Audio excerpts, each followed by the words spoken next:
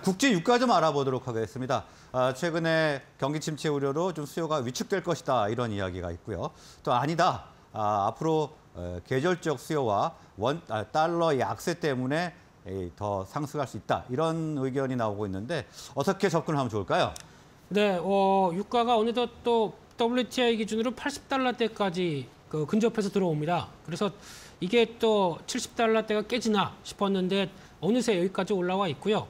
한때 어, 100달러 밑으로 내려가기 시작하면서는 이제 경기 침체 온다. 어, 수요는 이제 위축될 것이다 라고 하는 여러 가지 부담감 때문에 밀렸다가 최근에는 다시 올라오는 첫 번째 요인이 달러 약세라고 봐야 되겠죠. 어, 그러면 원자재 가격들을 끌어올릴 거고 게다가 또 요즘에 또 미국에서도 어, 뭐 북극에서 내려오는 한파가 어, 들어오기 시작하면서 뭐 snow storm이 찾아왔다 이런 쪽에서 상당히 또 2억 명이 넘는 어, 미국인들이 고생하고 있다 보니까 이런 어, 난방과 관련된 계절적인 수요가 증가하고 있다라는 쪽이고요. 그동안 유가를 안정시키기 위해서 미국에서는 어, 전략적 비축률을 어, 쌓아놨던 거를 방출을 했는데 이걸 다시 채워야 되겠죠. 그러면 또 수요가 늘어나는 꼴이다라는 쪽에서 여러 가지 유가를 또 끌어올리고 있다 보니까 아, 또 하나 가장 중요한 변화는 경기가 생각보다 나쁘지 않다라고 하는 즉 중국의 리오프닝을 통해서 나오는 수요에 대한 변화가 이어졌을 때는 유가를 또 끌어올리는 요인이 아니냐라는 쪽에서 유가와 또 그를 통한 여러 가지 에너지에 대한 관심들은 다시 높아질 수 있겠다라는 쪽에서 뭐 관심은 계속 가져야 될 것 같고요. 그런 쪽에서 어, 종목 중에서 종합 상사 관련된 쪽에서 LX 인터내셔널을 한번 좀 체크해 봤고요. 이 종목 같은 경우는 다 아시는 것처럼 자원 쪽에 어, 자원 개발과 관련된 광물 투자 그리고 또 trading 신성장 화학 소재 이쪽과 관련된 어, 상사 역할을 또 하는 부분들이 있고요.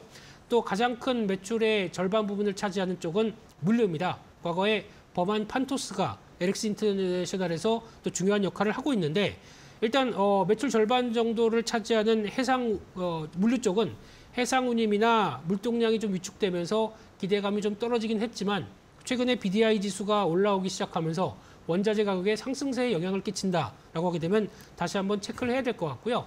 또 신규 사업 적으로 니켈 광산에 대한 신규 투자 가능성 제기가 되고 있고 또 친환경 첨단 소재 어, 물류센터 개발을 하면서 어, 어떤 성장 동력을 찾겠다는 얘기인데 근데 하반기 들어서 실적은 위축이 됩니다. 그럼에도 불구하고 올해 영업이익이 1조 원대까지 나올 걸로 보여지고 있는데 시총이 1조 6천억입니다.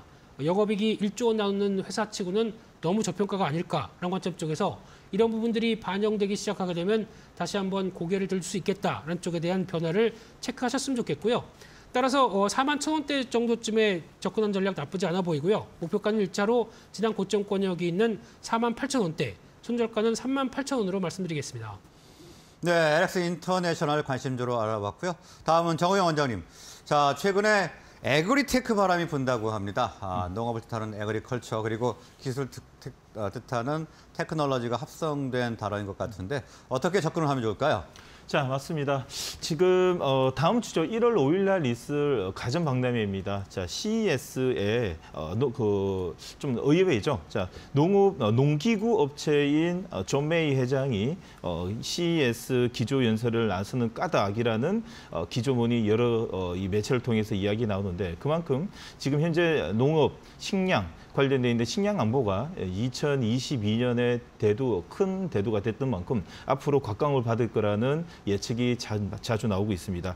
자 거기 있어가지고 농기계 업체인 대표 CES의 기조 연설이 나오기에는 처음입니다. 자 올해 오랫동안의 이 가전 박람회를 통해 가지고 여러 어, 가전, 이 IT tech 쪽으로만 지금 움직이다가 지금 이제 농기계 쪽으로도 관심을 가질 수 있는 어, 글로벌적 환경이 만들어지고 있다라는 걸 느낄 수 있는데 자 인류가 당면한 식량난 그리고 환경 오염 등 과제가 과제에서 농업의 중요성이 점차 커지고 있다라는 것을 시사 했습니다. 또한 어, 농업 분야에서도 첨단 기술을 접목한 다양한 혁신 기술이 나타나고 있는데 자 agriculture부터 해가지고 어, 기술적인 어, 테크놀로지 합쳐가지고 agritech라는 바람이 거세지고 있다라는 게 있어가지고 이제는 어, 우리나라뿐만 아니라 글로벌적으로도 이 농업 농기계가 오히려 더 어, IT와 이 통신을 결합한 어, 자율주행 쪽으로도 좀 본다. 그리고 이 테크놀로지가 결합된 이 스마트팜도 앞으로도 이제 이 미래 식량난 자 식량난에 있어 가지고 각광을 받을 것이라는 게 예측이 나오고 있습니다.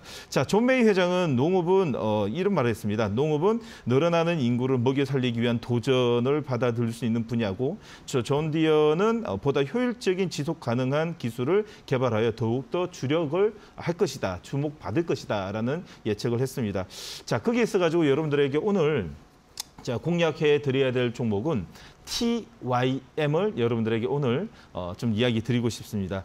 자, 일단 TYM을 먼저 이야기 드리는 이유가 특히나 이제 경, 어, 지금 경기 둔화에도 우려하고 3분기 누적 매출이 자, 9,200억, 9천억을 넘겼었습니다. 자, 올해 매출은 1억 1조, 어, 1조 클럽을 확실치 되고 있는데 특히나 영업이익 같은 경우에는 이 사, 아, 3분기 기준으로 해서 지금 현재 1,100억, 전년 동기 대비 두 배가 훨씬 뛰어넘는데 주가는 어, 이 조금 전에 지금 현재 차트를 보시다시피 어, 전년 동기 대비 지금 현재 어, 어, 올초 대비 올초 대비 거의 한 반토막이 나는 상황이기 때문에 여러분들이 관심을 가져야 된다. 특히나 자 올해 이, 어, 이 4분기 합쳐가지고요. 올해 이 2022년 어, 전체적으로 합산을 하게 되면 자 PER 기준으로 3배, 3배의 이 아주 저평가 됐다라고 볼 수도 있는데 자 어, 어느 이 같은 업종에 있는 대동 같은 경우에도 5배뿐만 아니라 어, 존디어뿐만 아니라 구보탁 같은 이 농기계 글로벌 업체가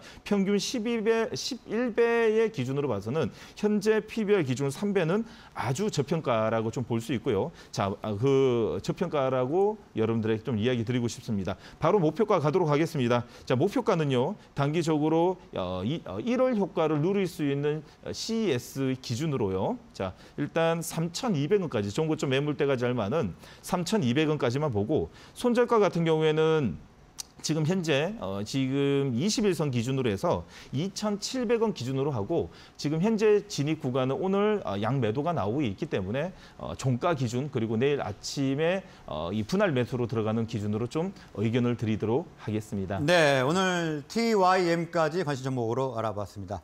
자, 오늘 말씀 여기까지 듣겠습니다. 수고하셨습니다. 고맙습니다.